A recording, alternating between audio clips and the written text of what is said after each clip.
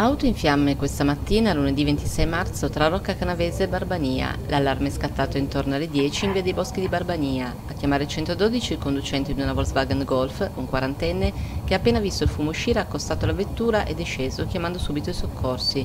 Sul posto sono prontamente intervenuti i vigili del fuoco di Nole che hanno domato e spento le fiamme.